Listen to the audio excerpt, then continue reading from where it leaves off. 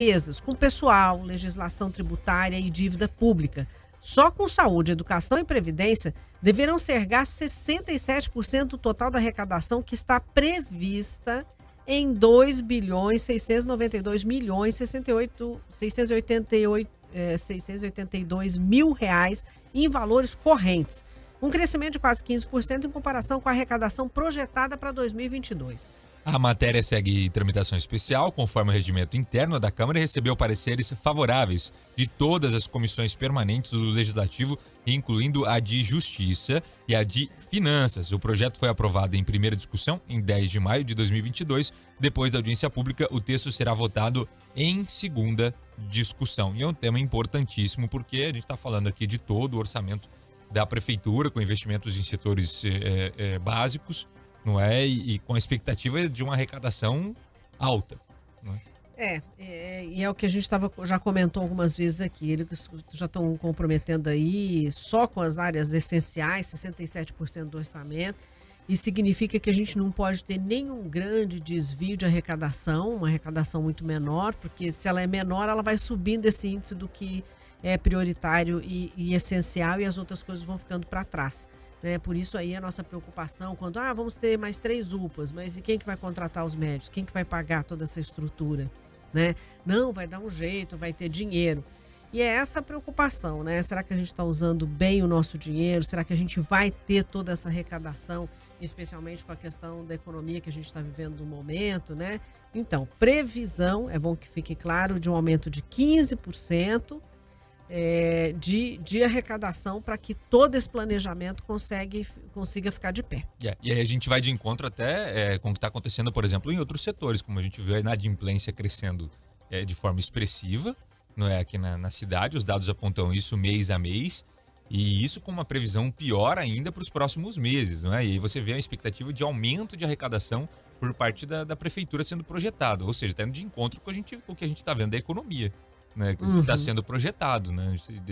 Agora a gente fica na expectativa para ver como é que vai ser essa audiência de hoje à noite. Se você quiser participar, então é, é a partir das 19 horas, dá para participar, é só online também, é, participar né? Não de forma sair online. da sua casa para isso. Isso, é só participar de forma online para acompanhar como é que vai ser esse debate importantíssimo aqui para nossa cidade de Londrina, Raquel. É isso aí. E já são 10 horas e 50 minutos. A gente está tentando restabelecer aqui, vamos ver se a gente consegue. Uma última tentativa. Não, não conseguimos, não. Ah, esse seria o contato com o doutor, né? Para falar sobre a varíola. A questão da varíola. Mas, é, mas fique tranquilos que a gente vai trazer essa informação, mesmo que gravada amanhã, é, para que a gente possa entender um pouco mais dessa questão da varíola que está preocupando. Porque, assim, é aquela história, né? Parece que está longe, mas se espalha rapidamente. É, então. É a gente já tem casos em Santa Catarina, né, que a gente falava, já está aqui próximo.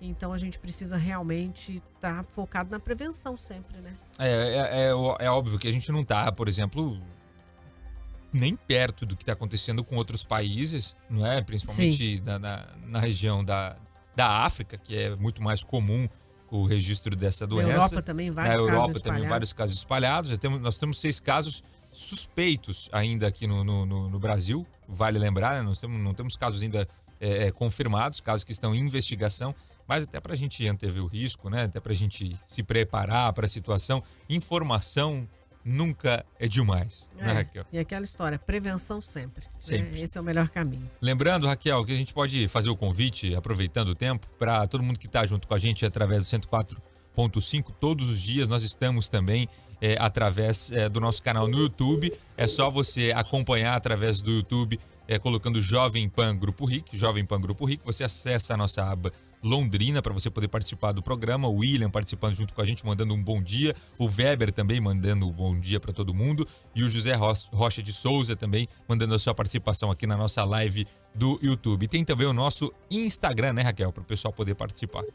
JP News LDNA, JP News LDNA. Isso. É, que é a Jovem Pan News Londrina, né? Só que ele é resumidinho. Isso. Entra lá, curte, participe. Tem sorteio sempre, toda semana tem um sorteio bacana lá. A gente está tendo um sorteio de uma Alexa. Isso. o negócio é chique. Chique.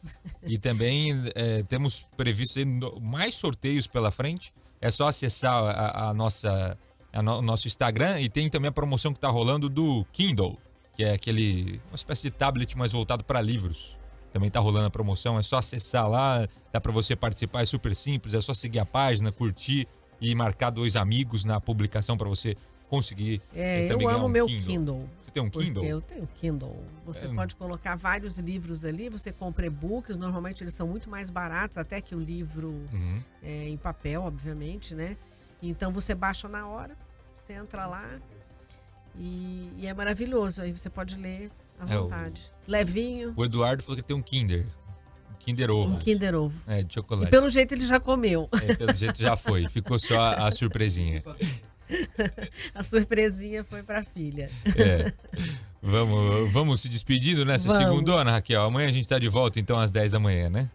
É isso aí. Essa foi mais uma edição do RIC Notícias Dia aqui na Jovem Pan News Londrina, 104.5. Obrigado pela audiência. Continue com a nossa programação regional e nacional. A gente se encontra daqui a pouco no RIC Notícias de edição Paraná e amanhã, 10 da manhã, nosso encontro é aqui. É isso aí, daqui a pouquinho a gente participa então, edição do RIC Notícias de Paraná, também com Rafaela Moron, com o Rivaroli. A gente está de volta participando com eles e também trazendo notícias de Londrina. E amanhã, 10 da manhã, mais uma edição do nosso RIC Notícias Dia aqui em 104.5. Obrigado pelo seu carinho, amanhã a gente está de volta. Tchau, tchau.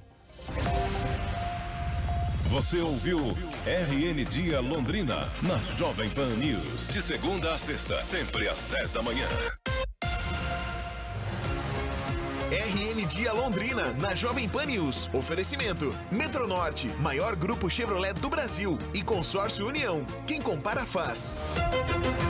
Você tem direito com a doutora Silvia Gazda. Mais uma vez o quadro Você tem direito com a doutora Silvia Gazda, tirando as suas dúvidas. Bom dia, doutora. Bom dia, Eduardo. Vamos lá então para a primeira dúvida de hoje. Doutora, trabalho como vigilante em dois empregos. Quando eu for me aposentar, os dois salários vão contar na minha aposentadoria? O ouvinte não quis identificar. Vamos lá, uma ótima pergunta. Isso não vai ser contado, Eduardo, tempo dobrado.